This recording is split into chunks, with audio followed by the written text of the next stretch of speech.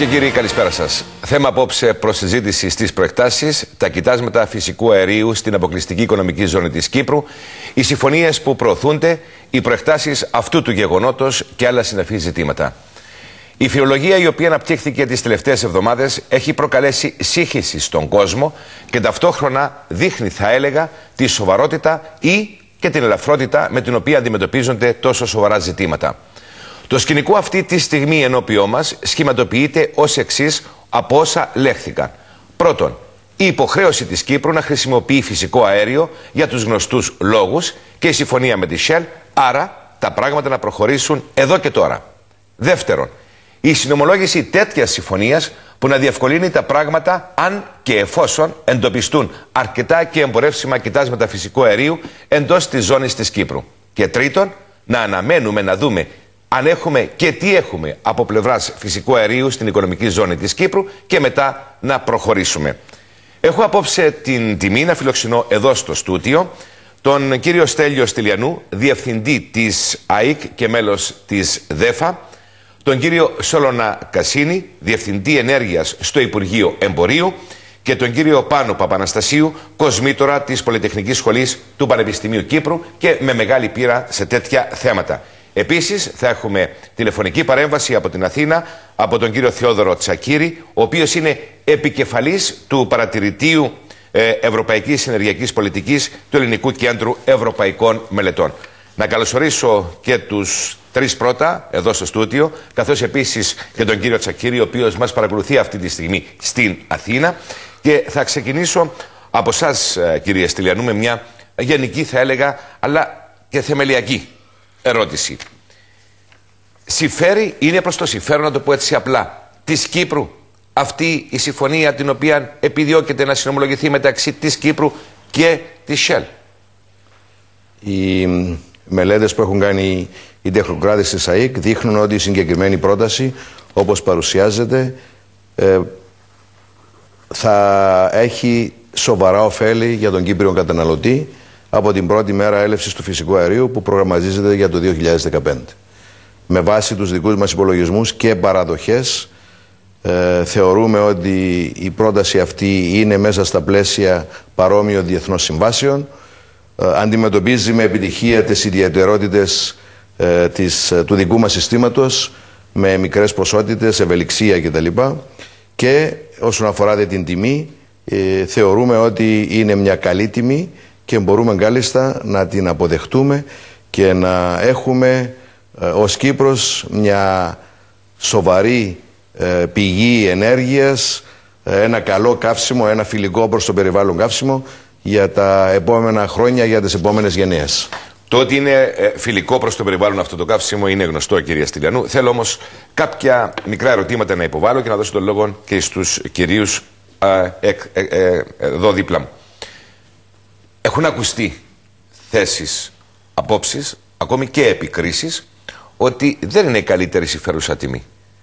Ότι είναι σε πολύ πιο ψηλά επίπεδα και θα μπορούσε αυτή η τιμή να ήταν χαμηλότερη, συγκρινόμενη μάλιστα με άλλες χώρες. Ε, και το δεύτερο στοιχείο έτσι, για να κερδίζω και χρόνο, υπήρχαν ελέγχθη και άλλες προσφορές με πιο ευνοϊκούς όρους, χωρίς να δεσμεύουν την Κύπρο για μεγάλο χρονικό διάστημα. Ναι. Σχετικά με την τιμή, ε, έχουμε κάνει μια έρευνα α, διεθνώς και έχουμε καταλήξει ότι πρώτον η τιμή η οποία προσφέρεται αυτή τη στιγμή συγκρίνεται ευνοϊκά με, τις, ε, με παρόμοιες συμφωνίες που έχουν γίνει για την Νότια Ευρώπη. Είναι πολύ καλύτερη από συμφωνίες που έχουν γίνει ε, για τις ε, πρόσφατες συμφωνίες στη Βόρεια Ευρώπη είναι πολύ καλύτερη σε σύγκριση με τιμές που έχουμε δει ε, στην, από Ανατολή, Ιαπωνία και Κορέα που είναι από τους μεγαλύτερους χρήστες υγροποιημένου φυσικού αερίου. Για να αντιληφθούμε και εμείς οι τηλεθεατές και εγώ που είμαι εδώ μαζί σας να υποθέσουμε ότι αυτό η απάντησή σας υπονοεί ότι στις βόρειες χώρες ή και στην Νότια Ευρώπη και στην περιοχή μας ε, η τιμή είναι λιγότερη, πολύ λιγότερη, είναι μάλλον ψηλότερη από τα 9,5 ε, ευρώ που έχουμε αναφέρει εδώ πέρα. Ε, ή Το να είναι συγκρίσιμη με 7,5 με 9,5 τα 2 ευρώ είναι μεγάλη υπόθεση δολάρια σε τέτοιες ποσότητες. Θα κάνω το εξής. Διότι πρέπει να αντιληφθούν και οι ακροατές ότι ε, οι τηλεθέτε ότι δεν δημοσιεύονται οι τιμές φυσικού αερίου. Δεν υπάρχει ε, ε, ε, δημοσίευση αυτών των θεμάτων. Οι, οι εταιρείες κλείνουν αυτές τις συμφωνίες με πλήρη εμπιστευτικότητα και δεν βρίσκει κάπου κάποιος ε, κάποιες τιμές σύγκρισης. Όμως, με βάση τα στοιχεία τα οποία έχουμε ενώπιόν μας, εάν αυτή τη στιγμή ε, συγκρίνουμε την τιμή που μας έχει προσφέρει η συγκεκριμένη εταιρεία και τις βάλουμε μια μονάδα βάσης 100 με συγκρινόμενη η συμφωνία αυτή με παρόμοιες συμφωνίες στην Νότια Ευρώπη βαθμολογείται 98 η στην Βόρεια Ευρώπη 132 σε σύγκριση με βάση του 100 λέω και στην Ασία 110 δηλαδή θεωρούμε ότι με βάση αυτή την πληροφόρηση που έχουμε από διεθνούς, διεθνούς φήμης συμβούλους μας θεωρούμε ότι η συγκεκριμένη συμφωνία για υγροποιημένο φυσικό αέριο είναι καλή. Κύριε Κασίνη. δεν θέλω να αφισβητήσω το τι λέει ο Στέλιος. Το τι θέλω να πω όμως ότι οι τιμές και οι φόρμουλες οι οποίες γίνονται σχετίζονται με την κάθε περιοχή. Παραδείγματος χάρη στη Μεσόγειο ή στην Ευρώπη ή στην Ανατολή ή στην Αμερική, στο Χέρι Χάπ και αλλού. Εμείς όμως εδώ το τι πρέπει να δούμε στην κύριο περιοχή μας είναι αν έχουμε νέα δεδομένα. Και το τι έχουμε. Ήταν το επόμενο μέρο αλλά με βάζετε. Προχωράτε. Ναι, ναι, όχι, που σχετίζεται άμεσα με την τιμή. Ναι.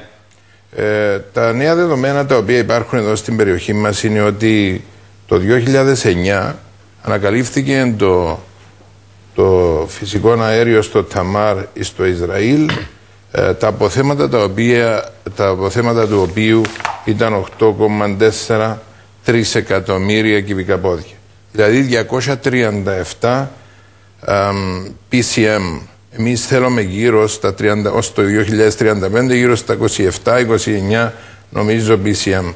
Να καταλάβετε για πόσα χρόνια. Και ξεκίνησε η διαδικασία ε, αμέσως εξόρυξης και διασωλήνωσης. Και πριν το 2012 θα το έχουν στη ξηρά. Επίσης, στις 29 του Δεκέμβρη, φέτος, ε, πέρσι, ανακοινώθηκε το μεγάλο απόθεμα στο Λεβιάθαν, πάλι στο Ισραήλ, πολύ κοντά σε εμάς. Το πρώτο, στο πρώτο ε, ήταν περίπου γύρω στα, ας θυμούμε καλά, γύρω στα 84 χιλιόμετρα μακριά, ενώ τούτον είναι γύρω στα 35 χιλιόμετρα από το δικό μας μπλοκ 12. Το Λεβιάθαν. Το Λεβιάθαν είναι 34.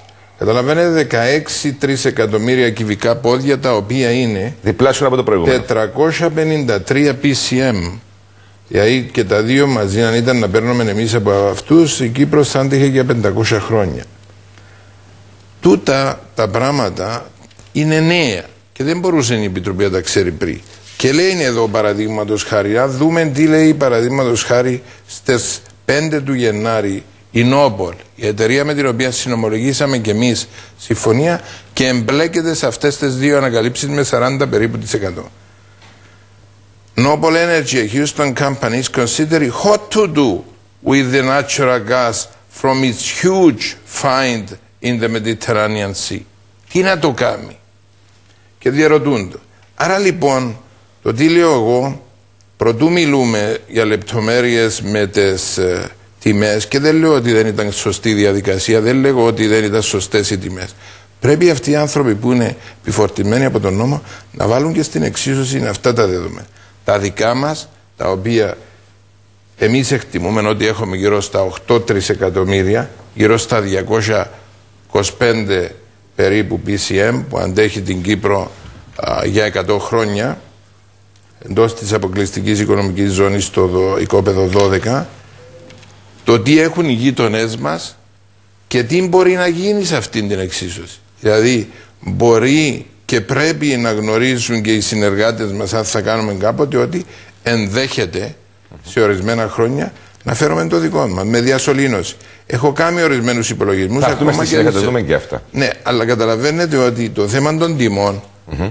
Που ρωτάτε τον κύριο Στυλιανού ήταν με εκείνα τα δεδομένα τότε εποχή. Τα νέα δεδομένα είναι κάτι άλλο. Τα οποία πρέπει να μπουν και τούτα μες στην εξίωση. Τα οποία δεν ήταν πριν. Φυσικά γύρονται πολλά ερωτήματα α, κατά πόσον και η άλλη χώρα την οποία έχετε αναφέρει ή οι άλλες χώρες της περιοχής μπορούν να εμπλακούν σε αυτή τη διαδικασία; Να διερευνηθεί. Να διερευνηθεί, αυτό θα μας το πείτε. Και βάζω ακόμα ένα ερώτημα πονηρό, αν θέλετε. Πριν μερικά χρόνια δεν υπήρχαν αυτά τα δεδομένα τα οποία μας λέτε εσείς. Μα πριν λίγες μέρες δεν υπήρχαν. Πριν, μπορεί όμως σε 30 ή 40 ή 50 μέρες να παρουσιαστούν κάποια άλλα δεδομένα. Πού θα σταματήσει μια επιτροπή που έχει την ευθύνη να συνομολογήσει μια συμφωνία; Να σας πω. Ε, Εμείς είχαμε συνομολογήσει μια συμφωνία με την Νόπολ και ξέραμε ότι από τον Οκτώβρη του φετινού χρόνου μέχρι τον Οκτώβρη του 2013 οφείλουν να κάνουν γεώτρηση. Ερευνητική γεώτρηση. Έχουν κάνει σεισμικές έρευνε, τις οποίες κάναμε εμείς πρώτοι, έχουν κάνει και αυτοί δικές τους και έχουν κάνει και τρισδιάστατε. Αυτά όλα τα δεδομένα μας τα δίνουν και τα αξιολογούμε. Εγώ αξιολογώντας τα στη δική μου την πεποίθηση πιστεύω ότι έχουμε σημαντικά αποθέματα. Τούτα ενδυναμώνονται και από τι έχουμε βρει στο Λεβιάθαν και στο Ταμάρ. Είναι παρόμοιοι σχηματισμοί και μπορώ να σας δείξω επακριβώς, παραδείγματος χάρη, αυτοί είναι οι σχηματισμοί οι οποίοι Μάλιστα. μπορεί να δείτε.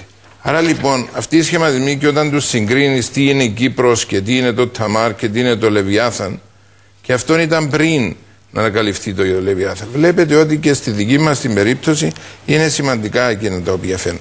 Όμως θα διαπιστωθούν μόλις τρεπήσουμε.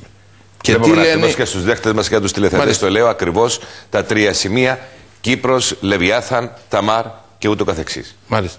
Και τα ΛΙΤ. Αυτά ήταν οι ανακαλύψεις που έκαναν στο Ισραήλ. Και σας λέω το εξής, ότι αυτοί θα τους καλέσουμε εδώ στην Κύπρο και ενδιαφέρονται να έρθουν, διότι και τούτοι θα χάσουν μια αγορά. Και θα χάσουν και την Κύπρο σαν ευρωπαϊκή χώρα, η οποία είναι με πολύ καλύτερες προοπτικές από το Ισραήλ που υπάρχουν σήμερα και ο οποίο κυοφορείται να βάλουν μια φορολογία στο φυσικό αέριο γύρω στα 50 με 60% του κόστους. Ευχαριστώ λοιπόν, πάρα πολύ. Η τιμή του όμως, του, του, του, ναι. του, φυσικού αερίου, μια και ρωτήσατε στην περιοχή μας, στην Νόπολ, τροχιοδρομείται να είναι γύρω στα 4 δολάρια το μίλιο BTU. 4 δολάρια το μίλιο ε, Αντιλαμβάνομαι και διαπιστώνω μια τεράστια διαφορά μεταξύ των δύο τοποθετήσεων. Ε, δεν συγκρίνουμε παρόμοια πράγματα. Το άλλο ήταν LNG, αυτόν έχει άλλη υποδομή, αλλά το ίδιο πράγμα φυσικό αέριο εκεί και το ίδιο εδώ και η ποιότητα είναι και πολύ καλή του του. Σας λέω ότι είναι 4 δολάρια το μίλιο BTU. Να πω στον κύριο Παπαναστασίου. Για το ίδιο ερώτημα και τι σχόλια έχετε από τις θέσεις που έχετε ακούσει από τους δύο ναι. προηγουμένως. Ε, Θέλω να ξανατοποθετήσω το πρόβλημα. Η βασική ερώτηση είναι κατά πόσο η έλευση του φυσικού αερίου με τις προτινόμενες συμφωνίες ε, θα καταλήξει σε πιο φθηνό ηλεκτρικό ρεύμα για τον καταναλωτή. Αυτή είναι η βασική ερώτηση. Η, η ΑΕΚ ανέφερε ότι έκανε κάποιους υπολογισμούς και δείχνουν κάποια μείωση ε, αρχικά νομίζω 2% προς το τέλος της συμφωνίας μπορεί να πάει στο 15%. Η ερώτησή μου, κύριε Παπαναστασίου, είναι, είναι συμφέρει αυτή η συμφωνία για την Κύπρο; Φυσικά θα μου πείτε Δεν... καταλήγει στο ηλεκτρισμό που θα παίρνουμε εν, εν, εν, τελευταία αναλύση. Εν τελευταία αναλύση αυτό είναι, Εγώ το, θέλω να ακούσω αυτό είναι το βασικό ερώτημα. Εντάξει. Τώρα, ε, να πούμε ότι τις τελευταίες μέρες υπήρξαν κάποιες αφισβητήσεις για κάποιες μελέτες. Υπήρξε μια, κάποιες πληροφορίες ότι έγινε μια μελέτη η οποία ε, πριν, ε, πριν τις διαπραγματεύσεις η οποία έδειξε ότι αν η τιμή του LNG δεν είναι πιο κάτω από... Μιλούμε για να καταλάβει ο κόσμος LNG τι εννοείται. Το υγροποιημένο. Το υγροποιημένο αυτό ναι, να λέμε. Δεν είναι κάτω από 7,3 τότε το, ρεύμα, το ηλεκτρικό ρεύμα δεν θα είναι πιο φτηνό. Τώρα μετά η, συγκρίνοντας με τις τιμές που αναφέρονται ότι, ότι είναι στη πιο φτηνή πρόταση της Shell, αυτή η τιμή είναι πιο ψηλή τιμή. Ο κόσμος ανησυχεί για αυτήν την περίπτωση και θέλει διευκρινήσεις. Και θα πρέπει να διευκρινιστεί αυτό το θέμα. Από ότι αντιλαμβάνομαι το τι αναφέρεται και στον τύπο κλπ. Είναι ένα θέμα που θέλει και η ΡΑΕΚ να το να διερευνηθεί περαιτέρω. Και αν, ανέφερε μάλιστα ότι θα καλέσουν και άλλους συμβούλους, εκτός από τους συμβούλους και τους υπολογισμούς που έκανε η ΑΕΚ, να έρθουν και άλλοι συμβούλοι να ελέξουν αυτούς τους υπολογισμούς. Είναι βασικό να γίνει αυτό το θέμα. Πρέπει αυτοί οι υπολογισμοί να ελεγχθούν. Διότι αν οι υπολογισμοί δείξουν ότι το ρεύμα δεν θα είναι πιο φτηνό, τότε το θέμα τελειώνει εκεί πέρα. Ε, από την άλλη, αν οι υπολογισμοί δείχνουν ότι θα υπάρξει μια μείωση, μπορεί να είναι της τάξης του 5 με 10% κλπ, τότε θα μπουν στο τραπέζι και τα επόμενα θέματα που ανέπτυξε ο κύριος Κασίνης. Ευχαριστώ πάρα πολύ κύριε Παναστασίου. Ναι, ολοκληρώσατε. Ευχαριστώ. Ε... Ευχαριστώ και θα έρθω πάλι κοντά σας. Ε, κύριε Στυλιανού, ε, βλέπω δύο τάσεις από εδώ, δι, μάλλον δύο τοποθετήσεις και θέλω σχόλιο. Η μια είναι ότι ε, νέα δεδομένα στο τραπέζι. Εσείς μέχρι τώρα και λέω εσείς, η ΔΕΦΑ, να μην προσωποποιώ την κατάσταση, είναι ότι ε, η διαδικασία έχει προχωρήσει, έχει ολοκληρωθεί και μένουμε εδώ. Θα έλεγα με όλο το σεβασμό και διορθώστε με, δεν, έτσι απλώς για σχηματικούς λόγους, ότι αρνείται η ΔΕΦΑ να μπει σε μια επαναξιολόγηση καταστάσεων ή, ή των προσφορών, αν είμαι σωστός. Το δεύτερο είναι το θέμα της τιμής που, που λέγεται και ακούγεται έντονα. Ε, είναι μεγάλη υπόθεση σε συνδυασμό μάλιστα με τα νέα δεδομένα τα οποία προκύπτουν όπως τα έχει αναλύσει ο κύριος Κασίνης με το νέο φυσικό αέριο. Και το τρίτο να τολμήσω να πω είναι αυτό το οποίο οικούστη χθες και θα ήθελα απάντηση από εσά. Ότι χάθηκαν κάποιοι φάκελοι οι οποίοι είχαν τέτοια ή άλλα πιο σοβαρά στοιχεία. Το ανέφερε ο κύριος Αβέροφ Νεοφίτου, αν είμαι σωστός, σε έναν ιδιωτικό τηλεοπτικό σταθμό συζητώντας αυτό το θέμα. Τι έχετε να απαντήσετε, κύριε Στυλιάν. Κανένας φάκελο δεν έχει χαθεί.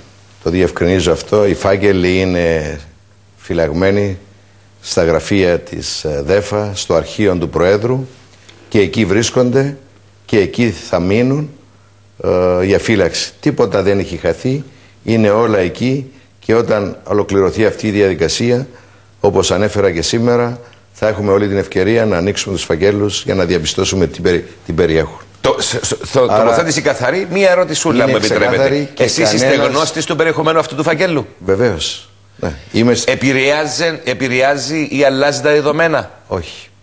Θα αναφέρω και αυτό που είπε ο, ο κ. Παπαναστασίου προηγουμένως, διότι αυτό το 7,3 το οποίο αναφέρθηκε έχει μεγάλη σημασία. Όταν ξεκινήσαμε αυτή τη διαδικασία, ε, για να ξέρουμε πού στοχεύουμε, καθορίσαμε κάποια διαπραγματευτικά πλαίσια, κάποιους αριθμούς. Και αφού κάναμε τους υπολογισμούς μας, είπαμε ότι πρέπει να επιδιώξουμε τη μεγαλύτερη δυνατή μείωση. Και καθορίσαμε κάποια αισιόδοξα σενάρια που ζητήσαμε να μειωθούν σημαντικά οι αρχικές προτάσεις των, ε, των προμηθευτών. Αυτό που αναφέρθηκε το 7,3 ήταν μία, ε, ένας αριθμός, μια τιμή η οποία είχε να κάνει με, την, με, με, την, με το άνοιγμα της διαπραγμάτευσης. Δεν είχε να κάνει με την τιμή εξίσωσης των διαφόρων μεθολογιών που συγκρίναμε. Δηλαδή τη μεθοδολογία όπου δείχνει την ανάπτυξη του συστήματος παραγωγής με φυσικό αέριο και την άλλη που λέει ε, προχωρούμε με τα συμβατικά καύσιμα. Άρα εκεί που βρήκαμε το break-even ε, σημείων μας που οι δύο τιμές εξισούνται είχαμε πει ότι πρέπει να επιδιώξουμε σημαντική ακόμα μείωση. Και αυτό το 7,3 ήταν αυτή η σημαντική μείωση που ζητήσαμε να, από την αρχή αυτής της διαδικασίας. Δεν ήταν το break-even point, αλλά ήταν μια αρχική αισιόδοξη τοποθέτηση για να ανοίξουμε τη διαδικασία με τους προμηθευτές. Τίποτε περισσότερο. Ξέραμε που ήταν το break-even point και το εκαθορίσαμε την αρχική, επαναλαμβάνω, συζήτηση μέσα σε αυτά τα πλαίσια. Με τα νέα δεδομένα τα λοιπόν. οποία έρχονται ενώπιον μας, όπως λέει ο κύριος Κασίνης, σκοπεύετε να ανοίξετε νέων κύκλων ή τέλος μελέτης εκ μέρους σας δηλαδή. Ναι. Προ, προτού καταλήξει η καταληξει η κυβερνηση σε μια οριστική απόφαση, διότι αντιλαμβάνομαι ότι την άλλη εβδομάδα θα ληφθεί μια απόφαση από το Υπουργικό Συμβούλιο. Να απαντήσω επίσης στον ε, φίλο τον Πάνο σχετικά με την ε, μείωση της τιμής. Οι παραδοχές οι οποίες χρησιμοποιήσαμε... Τη μείωση της τιμής... Του ρεύματος. Ναι. Με βάση ναι, ναι. τη συγκεκριμένη πρόταση της συγκεκριμένης εταιρείας. Χρησιμοποιήσαμε παραδοχές πολύ συντηρητικές για να υπολογίσουμε την τιμή ρεύματος για τα επόμενα 20 χρόνια. Αυτές τις παραδοχές τις έχουμε περάσει από τη ΡΑΙΚ, τις έχουμε περάσει από τους συμβούλους της ΔΕΦΑ, τις έχουμε περάσει από τους συμβούλους της ΑΕΚ και όλοι είχα συμφωνήσει ότι αυτές οι παραδοχές βάσει του οποίου γίνεται η μοντελοποίηση ήταν συντηρητικές διότι δεν θέλαμε να ευνοήσουμε την έλευση φυσικού αερίου όπως κάποιοι λένε τώρα ουδέν αναλυθέστερο. Στη διαδικασία αυτή χρησιμοποίησαμε τιμές φυσικού αερίου, κόστος αποϊγροποίησης, διοικητικά κόστα και καταλήξαμε ότι στο τέλος αυτής της ε, εξέτασης είχαμε μείωση από την πρώτη μέρα με βάση τις τιμές που ήταν στο τραπέζι. Ξεκινά από 2% μείωση κόστος ε, παραγωγής και ε, σταδιακά, προοδευτικά η μείωση αυτή και τα ωφέλη δηλαδή αυξάνονται και φτάνουν μέχρι και 14%. Δηλαδή το 2% είναι το χειρότερο σενάριο. Το 2% είναι ένα πολύ συντηρητικό σενάριο και πιστεύουμε ότι με τη σωστή διαχείριση και του κόστους αποϊγροποίησης και των κόστων των διοικητικών πιστεύουμε ότι θα μειωθεί περισσότερο και αυτή η μείωση μπορεί να υπερβαίνει από την αρχή και πέραν του 5%. Και θα ήθελα τον φίλο τον πάνω όποτε θέλει να περάσει για να του δείξουμε τις παραδοχές για να διαπιστώσει και ο ίδιος με ποιες παραδοχές έκαναμε όλες αυτές τις μελέτες οι οποίες επαναλαμβάνω οι παραδοχές αυτές περάσαν κοσκίνισμα και έγκριση από τρεις διαφορετικούς ε, επιστήμονες. Θέλω και στο άλλο σημείο κύριε Στυλιανού διότι σε λίγο θα δώσω το λόγο στον κύριο Κασίν και να πω στην Αθήνα. Τα νέα δεδομένα τα οποία έρχονται στην επιφάνεια τώρα, τα οποία ακούγονται λογικά. Τα λαμβάνετε υπόψη ή ξεχνούμε όλα και προχωρούμε με ό,τι είχατε στα χέρια σας μέχρι πρώτη. Θα πω το εξής. Όταν ξεκινήσαμε αυτή τη διαδικασία, η, η όλη έρευνα όσον αφορά τα δικά μας κοιτάσματα φυσικού αερίου βρισκόταν στα αρχικά στάδια. Ε, είχαμε αποταθεί στο Υπουργείο επίσημα ως ΔΕΦΑ και τους ζητήσαμε να μας πούν κύριοι τι γίνεται με τα δικά μας κοιτάσματα, τι έχουμε, πόσα έχουμε και σας παρακαλώ πέστε μας για να τα λάβουμε υπόψη στους υπολογισμούς μας αφού κάνουμε συνομιλίες τώρα με τους προμηθευτές. Η απάντηση του Υπουργείου ήταν δεν ξέρουμε, δεν έχουμε δεδομένα και μάλιστα η απάντηση την οποία έχω και εδώ μπροστά μου λέει ότι αυτά είναι εμπιστευτικής φύσεως θέματα και δεν μπορούμε να τα συζητήσουμε. Είναι εδώ σοβαρό το θέμα που δείτε. Τι θέλεις ένα μεγάλο σοβαρό θέμα αυτή τη στιγμή, κύριε Κασίνη. Κοιτάξτε να δείτε κατά καιρούς. Διότι και έχουμε, γράψει, έχουμε γράψει, κοιτάξτε να δείτε, το θέμα της ε, έρευνας και εξόριξης ε, υδρογοναθράκων είναι ένα λεπτό θέμα, άπτεται του θέματος και του πολιτικού μας, το οποίο χειρίζεται ο ίδιος ο πρόεδρος της Δημοκρατίας και όπως γνωρίζετε πολύ καλά, ε, δεν θέλουμε εμείς να το επιφορτήσουμε πρόσθετα θέματα. Εκείνος θα κρίνει πότε θα προχωρήσουμε. Αλλά οι συμβατικές μας υποχρεώσεις που αναφέρω εδώ και απαντήσαμε κατά καιρούς και έχω εδώ και την απάντηση τι είπαμε και είπαμε το εξής. Ε, η ανάπτυξη του τερματικού, γράψαμε στην αρχή ηλεκτρισμού, στον κύριο Στυλιανού, ελέγαμε τρία θέματα. Να παραμείνει ανοιχτό το ενδεχόμενο μελλοντικής εκμετάλλευσης δυνητικών κοιτασμάτων φυσικού αερίου εντός της αποκλειστικής οικονομικής ζώνης της Κύπρου μέσω υποθαλάσσιου αγωγού ή και επίγειας μονάδας παραγωγής υγροποιημένου φυσικού αερίου. Ο εκάστοτε συνθήκες της αγοράς φυσικού αερίου και ούτω καθεξή. Άρα, εγγράφαμε εμείς αυτό το ενδεχόμενο. Για να σας διαβεβαιώσω ότι όταν κάναμε τις συνομιλίες το 2007 με την Νόπολ, ένα από τα βασικά κριτήρια τα οποία έθεσα προς αυτούς για να υπογράψουν μαζί μας ήταν ότι η Κύπρος θα μπορούσε να είναι το παράθυρο προς την Ευρώπη της Νόπολ όχι μόνο για μας αλλά και τα αποθέματα και άλλα ευρήματα στο Ισραήλ για να κάνουν εδώ στην Κύπρο τερματικό υγροποιημένου φυσικού αερίου καθώς επίσης και μια υποδομή για πετροχημικά. Και αυτή επίσης είναι μια εισήγηση την οποία εγώ λέω σε διάφορα φόρα τα οποία πάω είτε στο Χιούστον είτε στην Αγγλία είτε αλλού και λέω δύο ενδεχόμενα για αυτήν την περίπτωση. Το ένα είναι να κάνουμε αυτές τις υποδομές στην Κύπρο, να χρησιμοποιηθεί η Κύπρος σαν μία Βλέπουμε το και στον ε, ναι. οθόνη μας αυτή τη στιγμή. Ναι, ή να γίνει ένας αγωγός όπως τον ονόμαζα South to Northern Corridor, να ενωθεί είτε με τον Απούκο είτε με άλλες υποδομές μέσω της Τουρκίας. Έναν πολύ έτσι ας το πούμε υπεραισιόδοξο σχήμα. Το βλέπω αλλά από εδώ να συνεχίσει δηλαδή ναι, ναι, Να ενωθεί και να πάει στην Ευρώπη. Αλλά όμως αυτό το θέμα θα επιλύσει πάρα πολλά προβλήματα στην κύριο περιοχή γεωπολιτικά και αστάθειας και έτσι ώστε η ενέργεια να είναι ένας καταλήτης να επιλύσει προβλήματα μεταξύ των χωρών Ισραήλ, Παλαιστίνης, Λιβάνου αλλά και εμάς αντιλαμβάνομαι με την, την Τουρκία. Και εμάς με την Τουρκία. ένα μέγα θέμα ναι. Να έχει έσοδα. Από σαν τράση χώρα που θα παίρνει έσοδα λόγω αυτού του αγωγού. Και αυτό το πράγμα το λέω και το γράφω και υπάρχει στις παρουσιάσεις μου και στην ιστοσελίδα μας εδώ και πάρα πολλά χρόνια. Άρα λοιπόν ήταν το, το ενδεχόμενο. Το τι δεν ήταν και δεν είναι ακόμη. Το να λέεις ότι μια εκτίμηση που κάνω εγώ και τη λέω εγώ για χρόνια ότι έχω μένει στην κυρό περιοχή. Πολλοί δεν εμπίστευαν, ούτε και οι Ισραηλινοί. Το Ταμάρ το είχαν οι British Gas με την Ισράμκο και το άφησαν πριν τέσσερα χρόνια και το πήραν η Νόπα.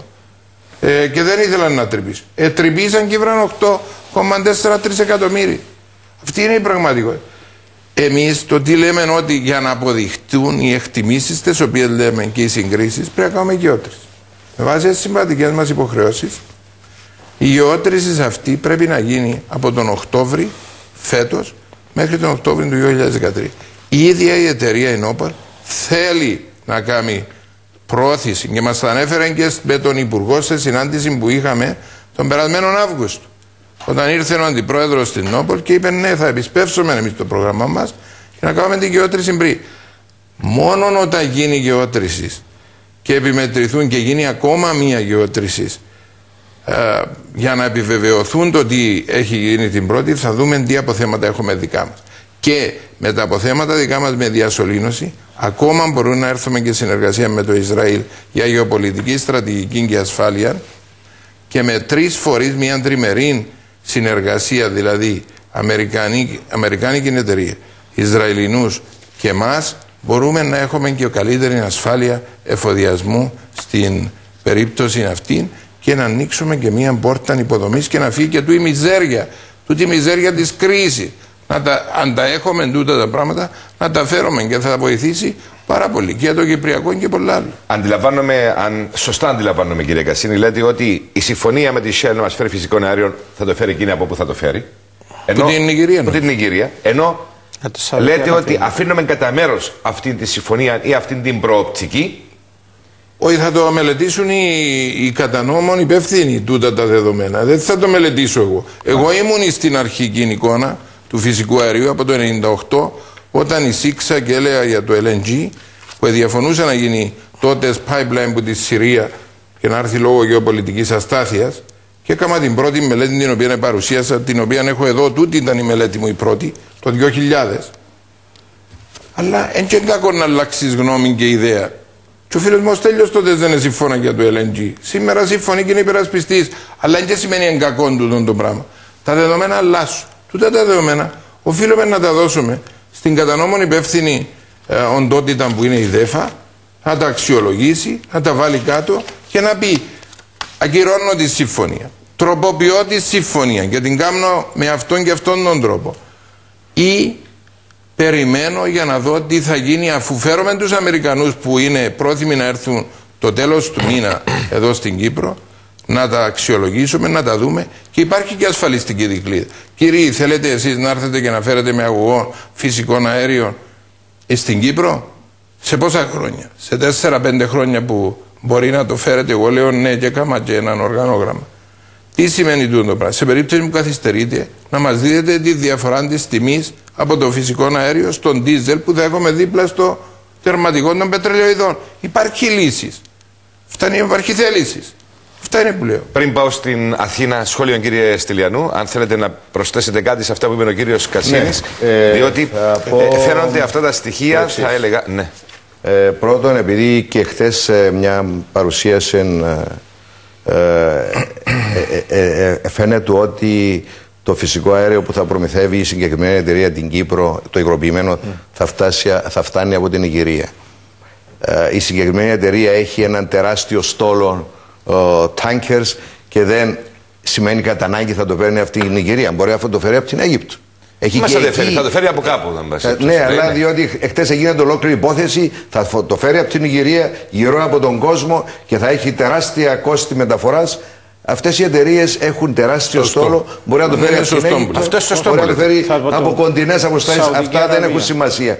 Εμείς προμηθευόμαστε το μαζούτ μας ε, από την Βραζιλία και δεν επηρεάζει την τιμή. Άρα αυτά τα επιχειρήματα δεν έχουν ε, βάση.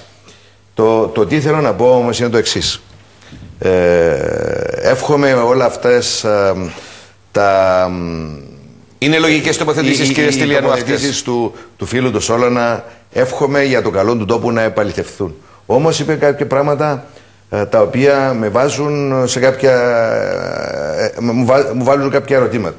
Μόνο λέει όταν γίνει γεώτρηση θα ξέρουμε με ακρίβεια τις ποσότητες που έχουμε στα, στο δικό μας οικόπεδο. Μάλιστα. Ακόμα αυτή η γεώτρηση δεν έχει γίνει και ε, από ό,τι αντιλαμβάνομαι Σόλωνα Θα γίνει τέλος θα του γίνει χρόνου. Το τέλος του χρόνου ή το 2013 από ό,τι αντιλαμβάνομαι. Όχι, μέχρι το 2013 η ίδια Άρα, εταιρεία. αυτή τη στιγμή δείχνει- δεν υπάρχει κάτι το συγκεκριμένο ενώ Μα υπάρχει δίπλα μας το Λεβιάθαν και αλλού, αν θέλουμε Βάσει να- του οποίου θα κάνουμε τε- τις ε, μελλοντικές μας ε, ε, υποθέσεις.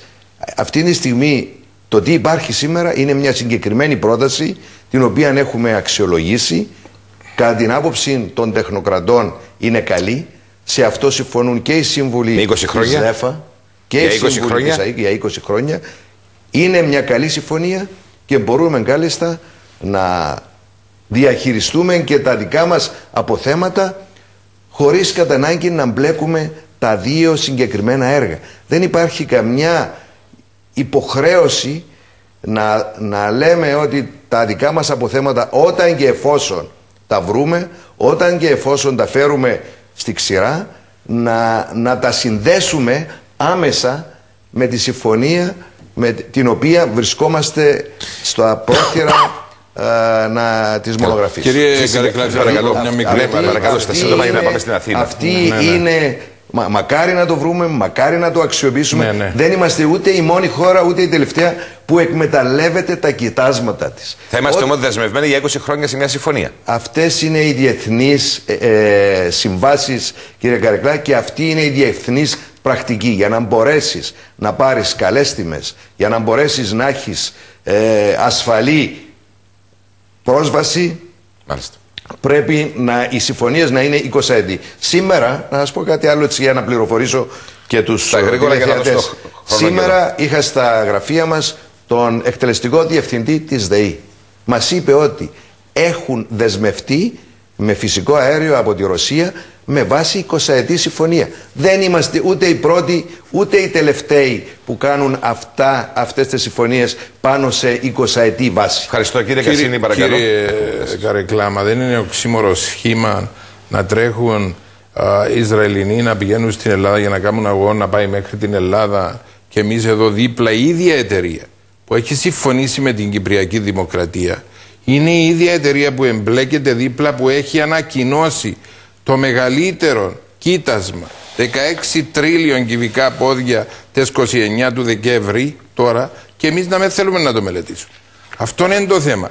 Και το τι έχουν δηλώσει ότι θα το πουλούν 4 δολάρια στο Ισραήλ και κάνουν τη διασωλήνωση σε λιγότερο από δύο χρόνια και την κατασκευάζουν εδώ στη Λεμεσόν τη διασωλήνωση.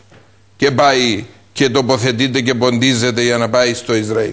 Άρα λοιπόν εγώ είμαι της γνώμης και της άποψης ότι πρέπει να μπει και αυτόν κάτω στην τράπεζα και στη Βάσανο για να διερευνηθεί διότι κανένας δεν μας ανάγκασε ή μας είπε ότι οπωσδήποτε πάντα και πάντοτε πρέπει να είναι LNG. Μπορεί να είναι και, και να γλιτώσουμε και το τερματικός. Μπορεί να είναι και Ευχαριστώ.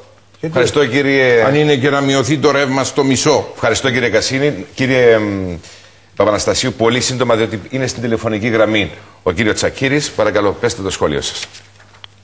Ε,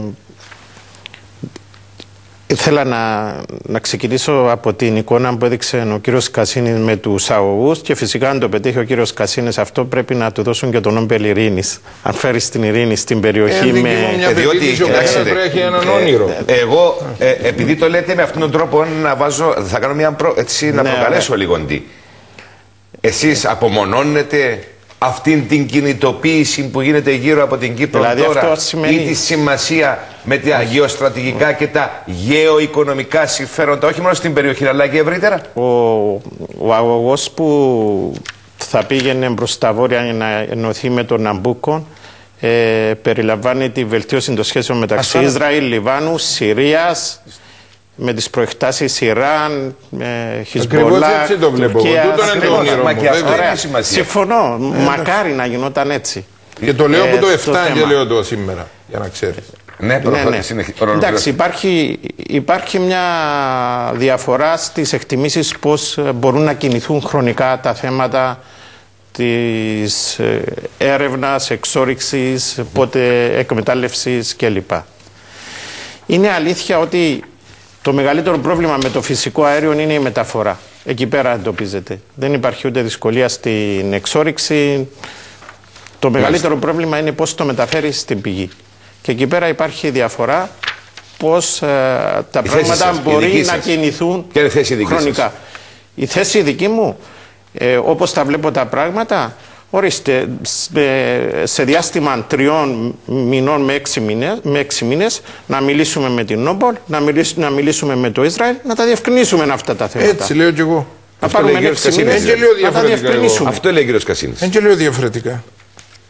Δεν λέω διαφορετικά. Αυτό και δεν λέμε για τελική συμφωνία όπως γνωρίζετε. Μιλούμε για μια συμφωνία προκαταρτική heads of agreement, η οποία θα είναι η βασική άξονα για να αποφασιστεί. Να πάω και στην Αθήνα, διότι έχουμε τον κύριο Θεόδωρο Τσακύρη. Καλησπέρα σας, κύριε Τσακύρη. Καλησπέρα σας. Και ευχαριστώ για την υπομονή σας. Είμαι σίγουρος ότι παρακολουθείτε. Πολύ ενδιαφέρουσα η συζήτηση, οπότε καθόλου υπομονή. Είστε ένας επιστήμονας, ε, πανεπιστημιακός και όλα με μεγάλη γνώση επί των θεμάτων αυτών.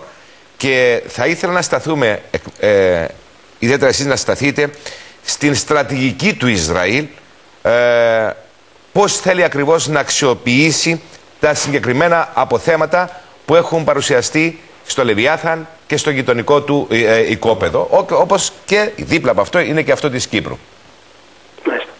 Το πρώτο πεδίο στο οποίο έχουμε μια πολύ καλή αντίληψη στο τι ακριβώς υπάρχει, δηλαδή έχει υπάρξει και η δεύτερη γεώτρηση, η οποία επιβεβαιώνει το αρχικό appraisal drilling στο οποίο αναφέρθηκε ο κύριος ε, Κασίνης πριν από λίγο για το πεδίο 12 το Κυπριακό, είναι το Ταμάρα. Το ΤΑΜΑΡ αυτή τη στιγμή έχει δεδομένα αποθέματα απολύψιμα, εκμεταλλεύσιμα δηλαδή, της τάξης των 238 δισεκατομμυρίων κυβικών μέτρων. Έχει, αυτό το έχει αναφέρει ο κύριος Κασίνης άμεσα.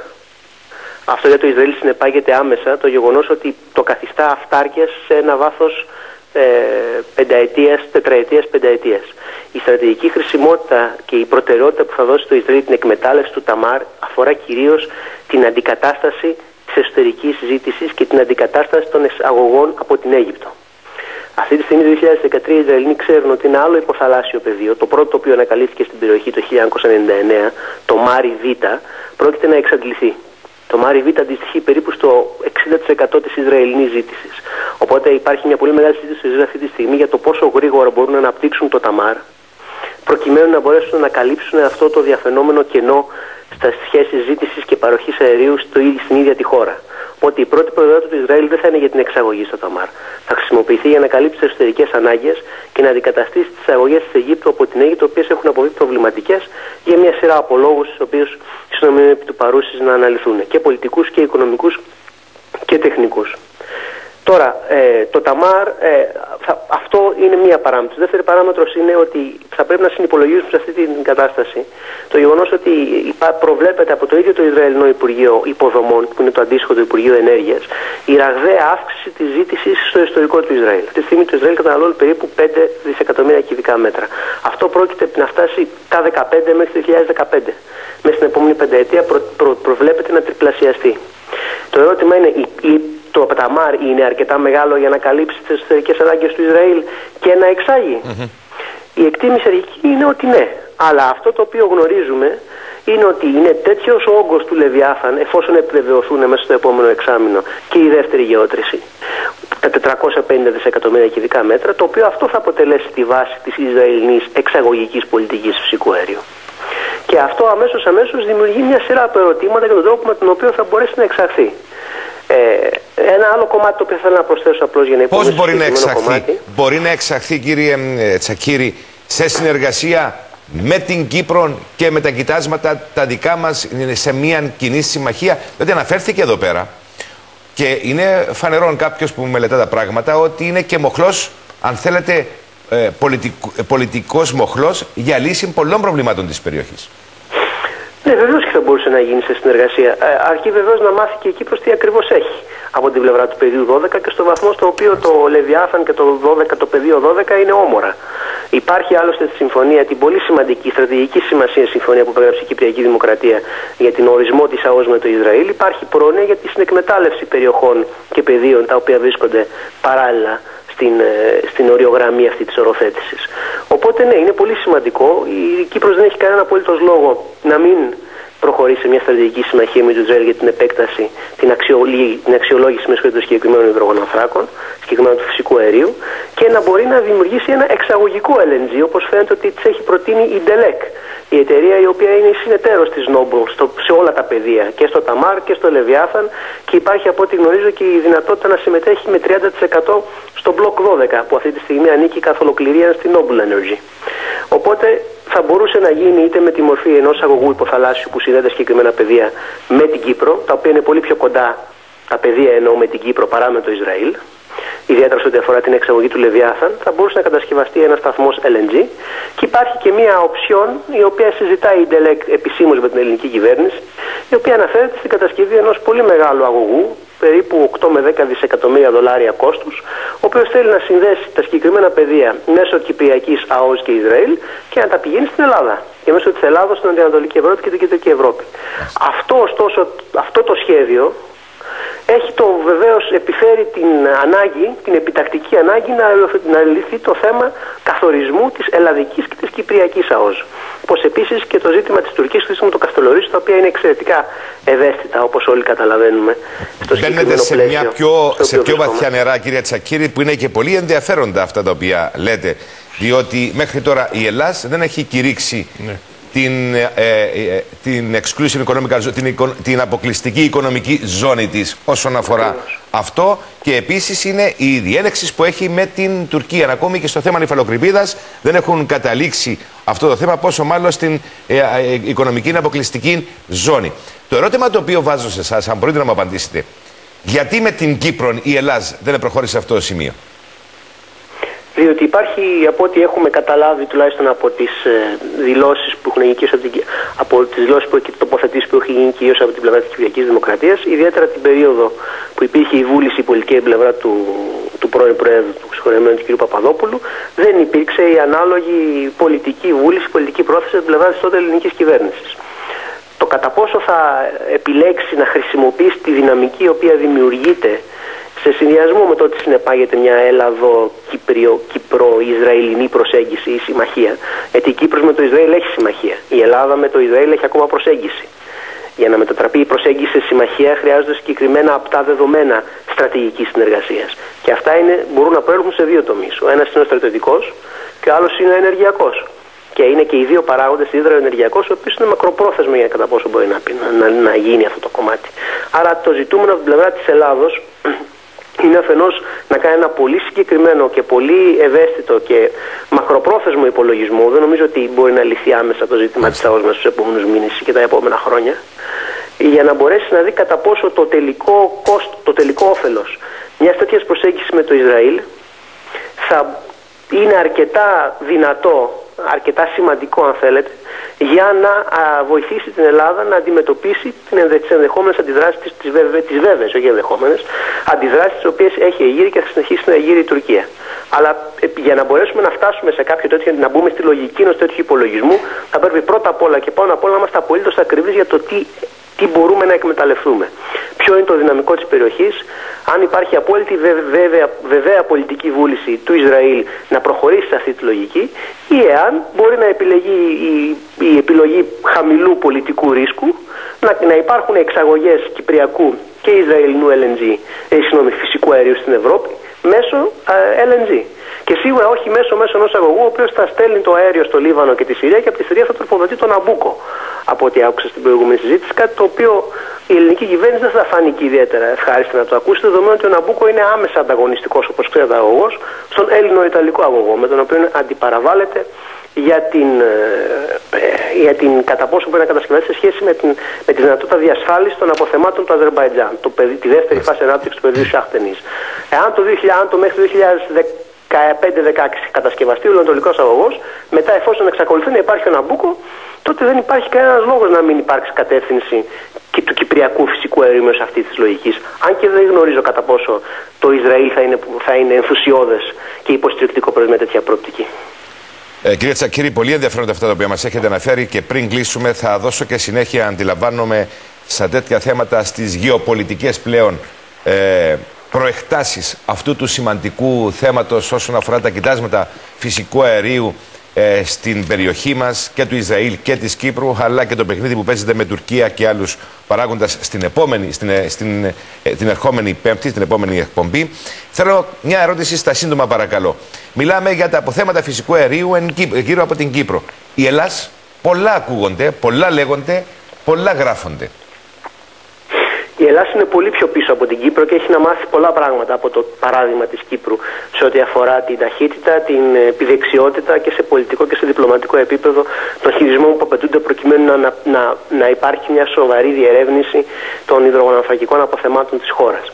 Αυτή τη στιγμή, ε, για πρώτη φορά μετά από 12 χρόνια και γι' αυτό αξίζουν κάθε μορφή συγχαρητήριων στον κύριο Μανιάτη, τον Υφυπουργό Ενέργειας της Ελλάδος, στο συγκεκριμένο ζήτημα. Επιτέλους, έχουμε μία αρχή η οποία θα μπορέσει να κάνει αυτό που θα έπρεπε να ήταν αυτονόητο να κάνει από το 1997. Δηλαδή να μπορεί να συγκεντρώσει τα δεδομένα, να επικαιροποιήσει ενδεχομένως τα δεδομένα που υπάρχουν από τη δεκαετία του 50 και του 60 στην Ελλάδα για συγκεκριμένα πεδία. Και οι έρευνες στην Ελλάδα συνεχιζόντουσαν να γίνονταν μέχρι και τη δεκαετία του 90 σας υπενθυμίζω απλώς, και βεβαίως να χρησιμοποιήσει αυτά τα δεδομένα προκειμένου μέσα στα υπάρχοντα χωρικά ύδατα να μπορέσουμε να κάνουμε έρευνες και να μπορέσουμε να δούμε ποιο είναι το δυναμικό της χώρας. Υπάρχουν υπολογισμοί από διάφορα Ινστιτούτα, με συγκεκριμένα χάρη το ΙΕΝΕ, το Ινστιτούτο Ενεργείζων Ανατολικής Ευρώπης, το οποίο αναφέρει ότι βάσει των υπαρχόντων δεν χρειάζεται να κάνεις επέκταση της εγκυρότητας ζώνης ή να ορίσεις ΑΟΣ. Βάσει των υπαρχόντων γεωλογικών δεδομένων, η Ελλάδα μπορεί μέσα στην επόμενη τετραετία, πενταετία να μπορεί να παράξει από 100 έως 50.000 βαρέλια. Αυτό συνεπάγεται ένα δυνητικό όφελος για το ελληνικό δημόσιο της τάξης άνω του 1 δισεκατομμυρίου ευρώ το χρόνο υπό τη μορφή της άμεσης φορολογίας. Αν επιπροσθέσεις από αυτού και την έμεση φορολογία, τότε καταλαβαίνετε πόσο σημαντικό είναι αυτό για τη μεσοπρόθεσμη και μακροπρόθεσμη οικονομική βιωσιμότητα της χώρας. Ευχαριστώ κύριε Τσακύρη. Μείνετε... Βρίσκεται υποκαθεστώ διεθνούς οικονομικού ελέγχου. Ευχαριστώ. Μείνετε στην τηλεφωνική γραμμή, διότι ο κύριος ε, Κασίνη θέλει μια σύντομη παρέμβαση. Πρωτού πάμε σε διαφημιστικό διάλειμμα, διότι ο χρόνος μας εξαντλείται. Ναι, κύριε Κασίνη. Πρώτα ήθελα να πω ότι με τον ε, Υφυπουργό, τον κύριο Μανιάτη, βρισκόμαστε σε πολύ συχνή επικοινωνία. Έχουμε ε, πολύ αγαστή συνεργασία και προσπαθούμε να βοηθήσουμε όσο μπορούμε. Θέλω να κάνω ακόμα μια μικρή διόρθωση. Ότι έχει αναφέρει ο κύριος Τσακύρης, το μπλοκ 12 έχουμε συνομολογήσει συμφωνία μόνο με την Νόμπολ, όχι και με την Τέλεκ. Για να γίνει αυτό χρειάζεται να τροποποιηθεί και να υπάρξει και έγκριση από το Υπουργικό Συμβούλιο, πρακτική η οποία δεν έχει γίνει μέχρι σήμερα. Μάλιστα. Ο κύριος... Εγώ είπα πως υπάρχει option far in όχι, όχι, ούτε option συγκεκριμένο κομμάτι, ίσως από την εξαγορά μετοχών της Νόμπολ. Και Φαίνεται ότι... Έχω κάνει κάποιο λάθος. Μάλιστα. Ο κύριος ε, εδώ ο κύριος Κασίνης λέει, κύριε Τσακύρη, ότι δεν υπάρχει ούτε και αυτό το option.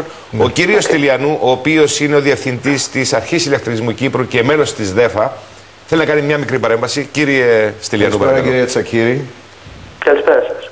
Ε, πρόσφατα α, βρήκα μια πολύ σημαντική πληροφόρηση από το διαδίκτυο ότι οι Ισραηλινές εταιρείες ε, έχοντας κάποιες αμφιβολίες σχετικά με το Ταμάρ έχουν έρθει σε 20 ετή συμφωνία προμήθειας φυσικού αερίου από την Αίγυπτο.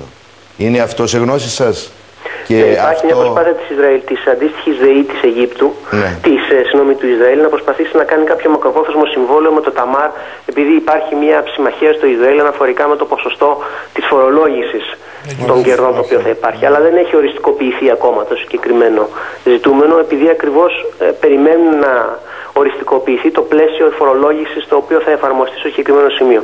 Αλλά δεν πιστεύω ότι οποιαδήποτε Ισραηλινή κυβέρνηση θα επιδιώξει να, να επιλέξει ανάμεσα στην Αίγυπτο και ανάμεσα στο Ταμάρ όσον αφορά την τροφοδοσία της χώρας. Ε, Είναι ζήτημα χρόνου να αναπτυχθεί και από ό,τι καταλαβαίνω, αυτή τουλάχιστον η Ισραηλινή κυβέρνηση, αλλά και οποιαδήποτε Ισραηλινή κυβέρνηση από εδώ και στο εξής, από τη στιγμή που έχει να αναπτύξει το Ταμάρ και ξέρει τι έχει και μπορεί να επενδύσει στο συγκεκριμένο σημείο, Ήδη η αναπτύσσεται στρατηγική της το επιλογή θα είναι να Ταμάρ. κατευθυνθεί στην ανάπτυξη των Αναπτύσσεται δικών το της Ταμάρ. Γίνονται ίσολοι. θα μπορούσα... αποθεμάτων και όχι να επεκτείνει την Θα εξάρτηση μπορούσα της να από την σας Αίγυπτο. στείλω το συγκεκριμένο άρθρο. Μιλά ότι έχουν κλείσει συμφωνία για 20 χρόνια για 1,4 δισεκα... δι- δισεκατομμύρια κυβικά μέτρα. Αυτό είναι προϋπάρχουσα συμφωνία, η οποία ίσχυε είναι για Ναι, ένα με κομματάκι. option, όλα. όχι, Να- ναι, αλλά αυτή έχει ημερομηνία α, Δεκέμβριος του 10 και λέει ε, η, η πληροφόρηση αυτή και αφορά τις Μάλιστα. εταιρείες Israel Chemicals Limited, Oil Refineries Limited και OPC Rotem Να σα. Limited. Εδώ, κύριε Στυλιανού, με συγχωρείτε και ο κύριο Τσακύρη. Θα κάνω την παρέμβασή μου. Ο χρόνος δυστυχώς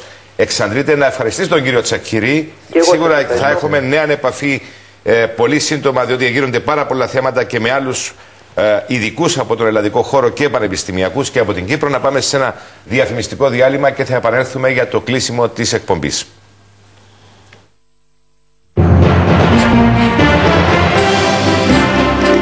Περνούμε λοιπόν στο κλείσιμο της εκπομπής και θα σας δώσω πρώτα από δύο λεπτά και μετά από ένα λεπτό για το κλείσιμο. Ξεκινάω και πάλι από εσάς, κύριε Στυλιανού. Εμένω μεν, προσκολλημένοι, χωρίς ένα βήμα στη συμφωνία εδώ, αγνοώντας ό,τι μας έχουν πει είτε αρμόδιοι του Υπουργείου Εμπορίου, είτε πολιτικοί, είτε οι οποιοδήποτε έχουν ε, εκφράσει άποψη κατά πόσο είναι σωστή ή όχι, ή ο πρόεδρος της Δημοκρατίας, η κυβέρνησης, έχει την ευχαίρεια να ξαναμελετήσει και να σας πει θέλω να πάτε πίσω και να μελετήσετε και αυτά τα στοιχεία τα οποία έχουν τώρα στην επιφάνεια τα νέα δεδομένα. Γιατί αυτή η, προσκ... η... η αιμονή στην 20ετή διάρκεια σε όλα τα οποία έχετε καταλήξει, διότι ακούνται και τα άλλα, λογικά θα έλεγα, σε έναν πολίτη ο οποίος δεν έχει τις γνώσεις που έχετε εσείς εδώ πίσω στο στούντιο μαζί μας. Θα πω το εξής, κύριε Καρεκλά. Η αρχή ηλεκτρισμού πήρε εντολή το 2001 από τον τότε Υπουργό Εμπορίου και Βιομηχανίας κ. Ρολάνδη να αλλάξει ριζικά το αναπτυξιακό της πρόγραμμα και να εγκαταστήσει μονάδες συνδυασμένου κύκλου, διότι θα ερχόταν το φυσικό αέριο και μάλιστα τότε δόθηκαν κάποιες ημερομηνίες ότι το αργότερο μέχρι το 2009 θα ήταν κοντά μας για να το αξιοποιούμε στους λέβητες μας προς όφελος του Κύπριου καταναλωτή. Η αρχή ηλεκτρισμού παίρνοντας αυτή την εντολή έχει εγκαταστήσει ήδη αυτή τη στιγμή μία μονάδα συνδυασμένου κύκλου που καίει όμως δίζελ και όχι φυσικό αέριο.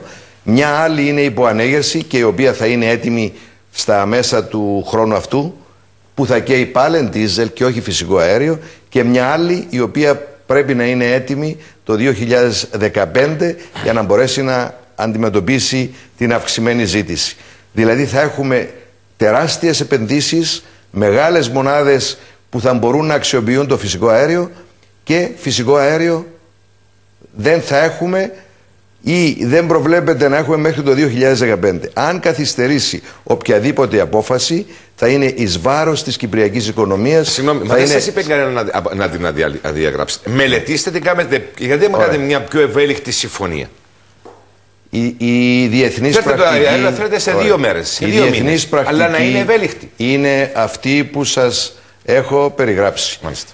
Η διεθνής πρακτική μιλάει για 20 ετή συμβόλαια και μιλά για απόσβεση του τερματικού υγροποιημένου φυσικού αερίου, μέσα σε 20 χρόνια ώστε το κόστος από υγροποίησης να μην είναι ψηλό ώστε το όλο έργο υγροποιημένο φυσικό αέριο τερματικό να συμφέρει στον τόπο. Αυτό έγινε, έγινε ε, βελτιστοποίηση του όλου συστήματος και καταλήξαμε σε αυτά τα δεδομένα. Εάν όμως υπάρχουν κάποια νέα δεδομένα, λέω να τα διαχειριστούμε. Να διαχειριστούμε τις νέες, ε, τα νέα δεδομένα, τα οποία αυτή τη στιγμή είναι ε, δεδομένα τα οποία δεν έχουν ε, επαληθευθεί. Γι' αυτό θα πρέπει να αναμένουμε να γίνουν περισσότερες γεωτρήσεις, όπως είπε και ο Σόλωνας, όπως είπε ο, ο κύριος Τσακύρης ότι πρέπει να γίνει και δεύτερη γεώτρηση και να δούμε τις ποσότητες, την ποιότητα και ούτω καθεξής. Άρα πρέπει όμως δυστυχώς οι αποφάσεις πρέπει να πάρθουν τώρα και ο, ο χρόνος τρέχει και πρέπει να είμαστε αποφασιστικοί παίρνοντα και το ρίσκο που συνεπάγεται αυτό το πράγμα. Τελειώνοντας. Θα έρθω κοντά σας. Μα, μακάρι να το φέρουμε το φυσικό αέριο, μακάρι να είναι οι ποσότητες όπως είναι και μπορούμε να το εκμεταλλευτούμε. Δεν υπάρχει καμιά υποχρέωση να το συνδέσουμε με το συγκεκριμένο έργο. Κύριε Κασί. Ε, Ξεκινώντας από το τελευταίο, σας δηλώνω τόσα χρόνια που ασχολούμαι, το να το βρεις το φυσικό αέριο είναι το πιο εύκολο πράγμα. Το να το διαθέσεις είναι το πιο δύσκολο. Και σας διαβεβαιώ ότι αυτό είναι το μεγαλύτερο πρόβλημα που αντιμετωπίζω σήμερα και αυτή η εταιρεία με την οποία έχουμε, η Νόπολ. Και το δηλώνουν και το ξέρουν. Εγώ το τι λέω είναι ως εξής. Σόλο είναι... να σε διακόψω. Οι ποσότητες που θέλει η αρχή ηλεκτρισμού σε σύγκριση με τα αποθέματα που φαίνεται ότι υπάρχουν είναι αμελητές. Είναι ναι, πολύ αλλά... μικρές. Ναι, αλλά δεν θα είναι αυτόν το συγκεκριμένο στοιχείο που θα ανατρέψει ολόκληρη τη βιωσιμότητα του έργου. Θα ανατρέψει την οικονομία μας όμως, αγαπητές Στέλιο. Θα μειώσει την τιμή του ηλεκτρικού ρεύματος αν είναι 4 δολάρια όπως είναι και εκείνον του Ισραήλ στη μισή τιμή του ρεύματος. Ε, ε, και δεν θα θέλω να μου επιτρέψεις ναι. να, να δω και εγώ τα στοιχεία βάσει το οποίο. Μα δεν είπα εγώ να μην τα δει. Εγώ δεν είπα να τα δω μόνος. Τα δολάρια που φαίνονται πολύ αισιόδοξοι. Εγώ κύριε, κύριε, και θα δω συνέχεια την ερχόμενη Πέμπτη. Παρακαλώ, κύριε, κύριε Καρεκλά, εγώ θέλω να πω τρία δεδομένα. Τρία, τα οποία είναι τα εξής. Έχουν εντοπιστεί και έχουν εξακριβωθεί τεράστια αποθέματα στην περιοχή μας. Από την ίδια εταιρεία την οποία έχουμε συνομολογήσει εμείς συμφωνία. Εάν αυτή η εταιρεία όταν κληθεί εδώ να έρθει τέλος του μήνα και μας διαβεβαιώσει ναι ενδιαφέρεται να κάνει το pipeline και να κάνει και τον αγωγό. Εγώ θέλω να φέρω με τα δικά μας. Τούτον ήταν όνειρο ζωής για μένα. Αντί σε αυτά των Ισραηλινών. Αλλά μας διαβεβαιώσει ότι φέρνει αυτά των Ισραηλινών και όταν τα βγάλουμε εμείς σε τρία χρόνια, διότι μου λένε ότι σε 36 μήνες μπορούν να κάνουν τον αγωγό, και σας δηλώνω και εγώ ότι τέλος του χρόνου, αρχές του άλλου, θα κάνουν τις δύο γεωτρήσει δικές μας για να τα επιβεβαιώσουν τούτα που λέω εγώ, τα, 6, τα 8-3 εκατομμύρια. Ναι, να τα φέρουμε και να είναι 4 δολάρια, όπως θα, θα τα δώσουν και στο Ισραήλ 4 δολάρια, το million BTU. Και δεν θα χρειαστούμε να κάνουμε 600 εκατομμύρια, 700 τερματικών από υγροποίηση και δεν θα χρειαστούμε να κάνουμε, διότι θα χρειαστούμε μόνο 300 εκατομμύρια να γίνει η σωλήνα και θα την κάνουν εκείνοι. Άρα τούτα τα πράγματα πρέπει οπωσδήποτε να μελετηθούν για το όνομα του Θεού. Ε, δεδομένα τούτα τα πράγματα. Και επίσης αλλάσουν τα δεδομένα αν συνεργαστούμε με βάση και τη συμφωνία που υπογράψαμε τελευταίο και με το Ισραήλ και με τους Αμερικάνους. Νομίζω είναι και θέμα ασφάλεια και δεν θα φοβούμαστε κανένα. Μάλιστα. Ευχαριστώ κύριε Παναστασίου. Κλείσετε και εσείς. Κλείσαμε. Σύντομα παρακαλώ. Ναι. Ε, μάλλον συμφωνώ με τον κύριο Στυλιανό ότι δεν υπάρχει και πολλή ευελιξία με τις συμφωνίες σε σχέση με τη χρονική διάρκεια που καλύπτουν γιατί είναι περίπου ίδιες συμφωνίες διεθνώς 20 ετίας κλπ. Τώρα, από εκεί και πέρα, ναι, σίγουρα η Νόπολ 4 δολάρια τη μονάδα είναι η τιμή του φυσικού αερίου. Άρα, όταν, αν, αν υπάρχει αγωγός, αυτή είναι η τιμή που θα το παίρνεις. Δεν είναι... Το... Να πω ότι το, το σενάριο που αναπτύσσει ο κ. Κασίνης γιατί πότε θα έχουμε το δικό μας φυσικό αέριο στην Κύπρο είναι λίγο αισιόδοξο. Αλλά από την άλλη αξίζει τον κόπο να διευκρινιστεί. Και δεν θέλει ε, σε τρεις μήνες μπορεί να διευκρινιστεί αυτό το θέμα και πρέπει να γίνει. Και μπορούν πρέπει να να, δοθούν γίνει εγγυήσεις. ένα συμβούλιο να μιλήσει με την Νόπολ, να μιλήσει με το Ισραήλ, με τις εταιρείες και να, κατα- να καταλάβουμε Μάλιστα. πώς βλέπουν και εκείνοι το θέμα ε, και μετά να προχωρήσουν. Δεν χάθηκε ο κόσμος για τρεις με έξι μήνες. Ευχαριστώ Θα πάρα. πρέπει να διευκρινιστούν κατά την άποψή μου αυτές οι προοπτικές. Κύριε Παναστασίου, κύριε Κασίνη, κύριε Στυλίνο, ευχαριστώ πάρα πολύ. Είμαι υποχρεωμένος με όσα ακούστηκαν, διότι έχουν μείνει και αρκετά άλλα ερωτήματα τα οποία θα διευκρινιστούν. Θα συνεχίσω αυτή τη συζήτηση για το φυσικό αέριο και την ερχόμενη Πέμπτη. Κάποιοι από εσάς θα είστε εδώ και πάλι. Θα εμπλουτιστεί η ομάδα και με άλλους, διότι θέλω να δω και την πολιτική προέκταση. Ήδη αναφέρατε τον κύριο Ρολάνδιν. Ε, εγώ θα προσθέσω και κάποιους άλλους από την Ελλάδα οι οποίοι έχουν αναπτύξει απόψεις επ' αυτών των θεμάτων και είναι πολύ σοβαρά, τα οποία θα τα δούμε σε όλη τους την έκταση και πάλι την ερχόμενη Πέμπτη στις 10.30 το βράδυ από τις προεκτάσεις. Καλή σας νύχτα. Thank you.